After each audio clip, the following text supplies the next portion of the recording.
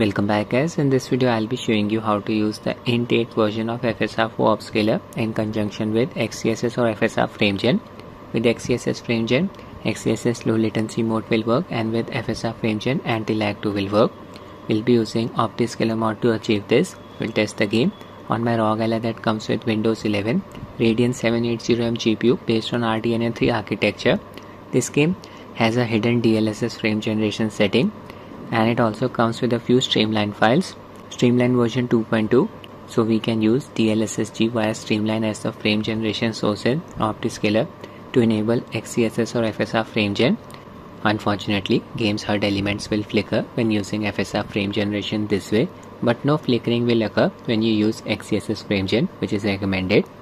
We'll be running the PC Game Pass version of the game before jumping into the gameplay, would like to thank Keymailer and Xbox for providing me with a free monthly subscription of PC Game Pass. This subscription gives us access to hundreds of games.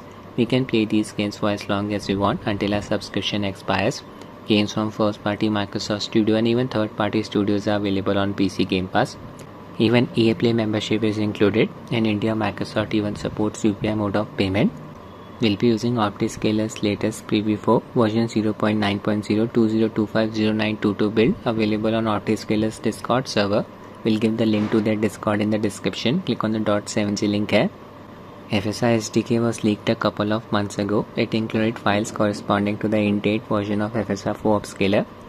These files could be used to compile an FSR4 DLL. Big thanks to Reddit user athlete dependent 926 for doing this and sharing the file with the community. Just click on the Go file link here. From this page you need to download AMD Fidelity FX Upscaler dx12.dll file. Click on download next to it, the download will start. Now I'll show you the mod setup process. Open OptiScaler's archive file. Select the highlighted files optiscaler.ini, optiscaler.dll libxess underscore fg.dll XeSS framegen file dx11 version of XeSS super resolution not required. Leave libxess.dll file XeSS super resolution for vulkan and dx12 apis leave libxell.dll file XeSS low latency mode file. Fake nv fake nv fake nv api will replace the in-game reflex implementation with either XeSS low latency mode or reflex depending on the frame generation technique we use 9 mod not using. Vulkan version of Fidelity FX not required. Just select all of the DX12 versions of Fidelity FX files. 10 files selected. Right click, copy. Open Xbox PC app. Go to your library. Select Forza Motorsport. Click on the three dots here. Click on Manage. Click on Files. Click on Browse. Open the games installed folder. Open Content folder paste the files here now just need to change the name of optiscaler.dll file to d3d12.dll would not recommend using optiscaler mod when playing the game in online mode.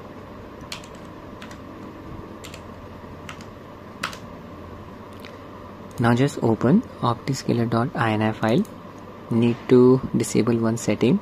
Scroll down until find input section from here just set enable FSR2 inputs to false otherwise the game will crash at startup.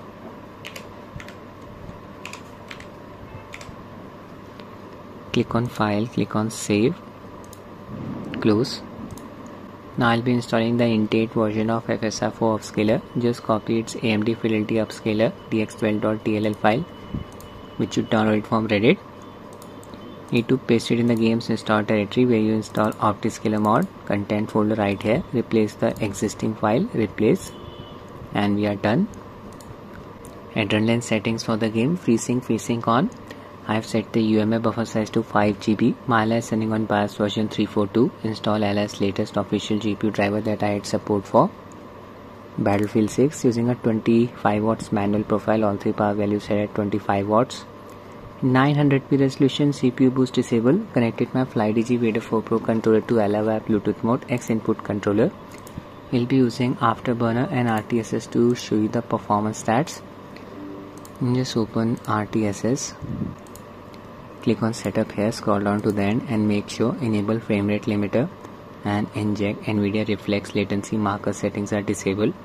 Enable use Microsoft Detours API hooking setting launch the game in-game settings dynamic render quality set to medium dynamic optimization custom full screen mode on resolution 900p DLSS setting it got unlocked. Using the upscaler's balance preset apply. Graphics section. Most of the settings set to medium. Make sure performance target is set to unlocked. Isotropic filtering 8 times ray tracing it's off scroll down medium settings motion blur disable motion blur quality and motion blur in cockpit lens flare disabled as well apply. Start a free play event. I'll select the track Hakone my vehicle Porsche 911 the race is about to start. Just open OptiScaler menu by pressing the insert keyboard key. Increase the menu size. Click on the drop down bar next to menu UI scale set the value to 1.1 upscaler XeSS version 2.0.2 input in-game DLSS upscaler DXGI spoofing on auto explorer setting on I'll switch to FSR4 upscaler. Click on the drop down bar next to change upscaler. The driver behind me is stuck. Select FSR 3.x as the option. Click on change upscaler again. Yeah INT8 version of FSR4 upscaler is selected model setting set to default it automatically selected model 2 for me which corresponds to the in-game upscaler's balance preset correct? No frame generation selected. I'll enable OptiScaler's performance overlay expand FPS overlay section check the setting FPS overlay enable full plus graph.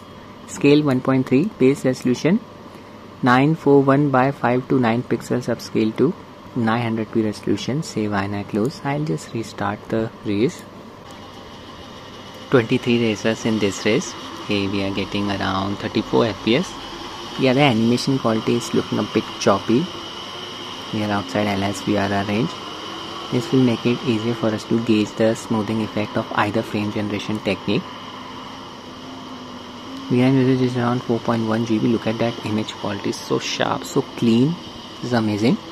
Temporal upscaling in this game produces some ghosting around a fast moving vehicle's bumper. FSR frame generation makes this ghosting effect more noticeable, more aggressive. This is not true in the case of XeSS frame gen. It's very difficult to observe this ghosting effect on Ally's small display. It's the night time as well. It's raining. See the water droplet effect.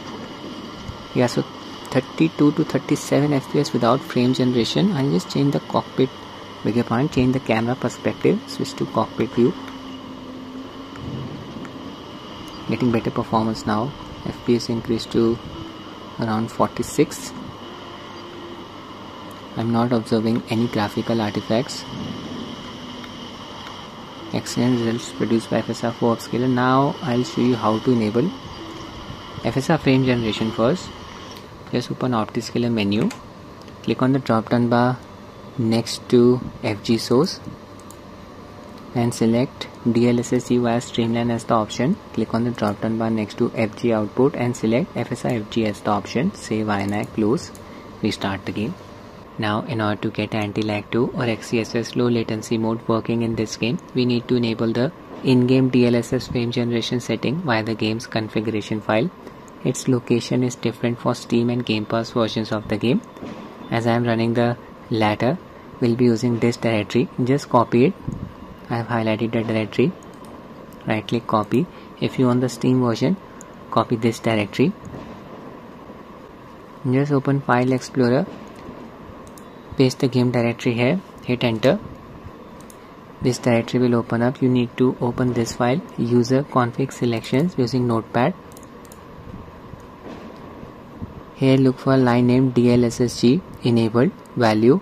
By default it's set to 0 just change it to 1.00000 basically change it from 0 to 1 file save close. We are ready to run the game. Once the game loads up just open OptiScaler menu and check the setting active under frame generation FSR FG current streamline FG state on. The FPS increased to around 65 but if you check the FSR frame gen debug view display won't be working properly for the bottom right image and this is why the game's HUD elements will flicker. Disable the debug view. Current method mention anti-lag 2 I'll enable anti-lag 2's latency monitor. Press its hotkey combo alt shift and L. Keep pressing the combo to cycle through the different display options. Yeah anti-lag 2 is working. You can see the real-time latency value. Animation quality is looking smoother than before. 60 to 65 fps with FSR frame gen. Oh my god look at the game's HUD elements flickering aggressively and very ugly ghosting is produced around the vehicle's bumper. So not recommended to use FSR frame in this game due to this reason.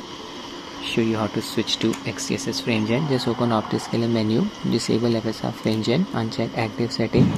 Make sure DLSS GY streamline is selected as the frame generation source. Click on the drop down bar next to FG output and select XeFG as the option. Save and I close exit the game play once the game loads up open OptiScaler menu check the setting active under frame generation XeFG the frame time graph will become thick like this XeSS FrameGen debug view, you will see these purple sidebars if XeSS frame gen is working. I'll just restart the race. Under frame rate section, current method mentioned should be XeLL, XeSS low latency mode. Race is about to start. Just observe the game's HUD elements. Should not be flickering. See, so XeSS engine is working properly in Forza Motorsport. UI text not flickering as well. Here FPS is within a range of 55 to 60. Can observe the added amount of smoothness. You can improve the performance further by dropping the resolution to 720p or dropping the graphics preset to low. It's up to you. switch to cockpit view. Just observe the steering wheel and the left stick. They are moving in sync. Latency is not an issue. XeSS engine is definitely usable. But I would not recommend playing the game in online mode with the mod installed. If I am not wrong game's multiplayer mode has an FPS cap of 60 you can go past 60 FPS using FrameGen that's it with the video guys. I hope you find it useful. Thanks for watching and have a nice day